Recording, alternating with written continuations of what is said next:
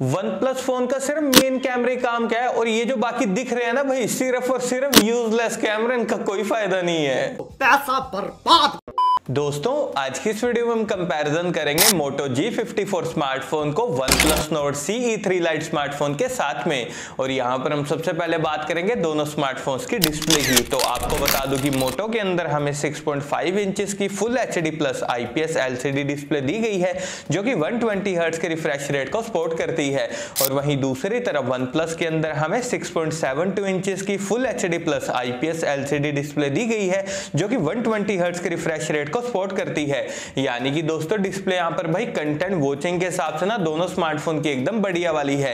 क्योंकि दोनों फोन्स के अंदर हमें आईपीएस पैनल मिल रहा है। भाई, अच्छी बात है, बढ़िया कंटेंट वॉचिंग आपको करवा देगा। और ऑपरेटिंग सिस्टम की अगर हम बात करें तो मोटो का phone out of the box Android thirteen के साथ में आता है, जिसमें आपको सिर्फ़ एक साल के एंड्रॉइड अपडेट्स और तीन साल के सिक्योरिटी अपडेट्स मिलेंगे। और ये स्मार्टफ़ोन नियर स्टॉक एंड्रॉइड पर बेस्ड है।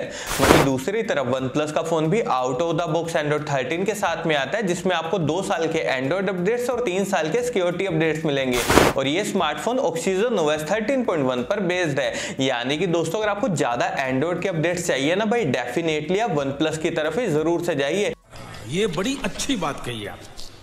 और ये मोटो वालों ने तो एक साल के एंड्रॉइड अपडेट देके भाई काम ही मुका दिया। भाई भर भर के कॉस्ट कटिंग करी है इन्होंने इस मामले में। और चिपसेट की अगर हम बात करें तो मोटो के अंदर हमें डायमंड सिटी 70205G चिपसेट दिया गया जो कि 6 नैनोमीटर टेक्नोलॉजी पर बेस्ड है। वहीं दूसरी तरफ़ वन प्लस के अंदर हमें स्नैपड्रैगन 695 5G चिपसेट दिया गया जो कि 6 नैनोमीटर टेक्नोलॉजी पर बेस्ड है। और आपको बता दो दोस्तों, ये जो दोनों चिपसेट है ना भाई डे टू डे परफॉर्मेंस और गेमिंग के मामले में एकदम बढ़िया है। और दोस्तों, अगर आप इन दोनों फ़ोन में किसी वाले को बाय करना चाहते हैं ना तो लिंक मैंने नीचे डिस्क्रिप्शन में दे दिया वहाँ से जाकर आप इन्हें बाय कर सकते सकते हैं। और अब बारी आती है भाई बैक कैमरा सेटअप की। तो मोटो के बैक में ड्यूल कैमरा का सेटअप दिया गया। वहीं दूसरी तरफ़ वन प्लस के बैक में हमें ट्रिपल कैमरा का सेटअप दिया गया है। और सबसे पहले हम बात करेंगे मोटो की। तो इस फ़ोन का मेन कैमरा 50 मेगापिक्सल का ultra wide plus macro plus depth camera है 8 मेगापिक्सल का। वहीं दूसरी तरफ़ वन प्लस फ़ोन का मेन कैमरा है 108 मेगापिक्सल का मैक्रो कैमरा है 2 मेगापिक्सल का, और जो डेप्थ कैमरा वो भी है दो मेगापिक्सल का। और आपको बता दो दोस्तों, दोनों फ़ोन का जो मेन कैमरा ना भाई बढ़िया फ़ोटोज़ आपकी क्लिक कर देगा, उसमें आपको कोई भी दिक्कत नहीं आएगी। लेकिन यार, जरा वन प्लस को देखना, दो का मैक्रो दो का डेप देखे भाई काम मुका दिया, और ये कैमरा सिर्फ़ यूजलेस है। भाई, ये अल्ट्रा वाइड दे सकते थे, लेकिन पैसे बचाने के चक्कर में इन्होंने नहीं दिया। इसलिए यार, अगर आपको अल्ट्रा वाइड कैमरा भी चाहिए ना भाई डेफिनेटली आप मोटो की तरफ़ ही ज़रूर से जाइए। और मैक्सिमम वीडियो रिकॉर्डिंग की अगर हम बात करें तो दोनों फोन्स के बैक कैमरा से आप मैक्सिमम 1080 पिक्सल तक ही वीडियो रिकॉर्डिंग कर सकते हैं। और अब बारी आती है भाई वीडियो स्टेबलाइजेशन की तो मोटो का phone OIS plus EIS technology को सपोर्ट करता है। वहीं दूसरी तरफ़ वन प्लस का फ़ोन सिर्फ़ ईआईएस टेक्नोलॉजी को सपोर्ट करता है। दोस्तों, अगर आपको बढ़िया स्टेबल वीडियो बनानी है ना भाई तो मोटो की तरफ़ ही ज़रूर से जाइए। और फ्रंट कैमरा की अगर हम बात करें तो दोनों फोन्स के फ्रंट में भी 16 मेगापिक्सल का सेल्फी कैमरा दिया गया है। भाई सेल्फी लवर के हिसाब से यहाँ पर दोनों स्मार्टफ़ोन बढ़िया हैं और मैक्सिमम वीडियो रिकॉर्डिंग आप दोनों फोन्स के फ्रंट कैमरा से 1080 पिक्सल तक ही कर सकते हैं। बैटरी डिपार्टमेंट की अगर हम बात करें तो मोटो फ़ोन यहाँ पर छह हज़ार की बहुत बड़ी बैटरी के साथ में आता है, जो कि तैंतीस वोट की फास्ट चार्जिंग को सपोर्ट करता है।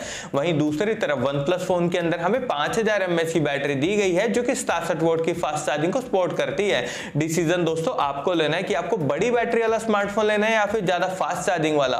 और नेटवर्क कनेक्टिविटी की अगर हम बात करें तो दोनों फ़ोन यहाँ पर ट्रूली 5G कनेक्टिविटी के साथ में आते हैं और 3.5 पॉइंट जैक हमें दोनों फ़ोन के अंदर दिया गया है। और अगर हम बात करें स्पीकर की तो दोनों फ़ोन यहाँ पर स्टीरियो स्पीकर के साथ में आते हैं।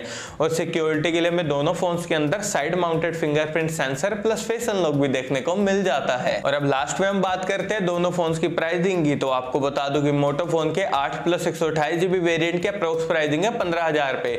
वहीं दूसरी तरफ़ वन प्लस फ़ोन के आठ प्लस एक सौ अठाईस जीबी वेरियंट की प्राइसिंग है बीस हज़ार पे। और दोस्तों, जो प्राइसिंग है ना भाई, वो ऑफ़र के अकॉर्डिंग ऊपर नीचे होती रहती है तो इस चीज़ का आप ध्यान रखिएगा।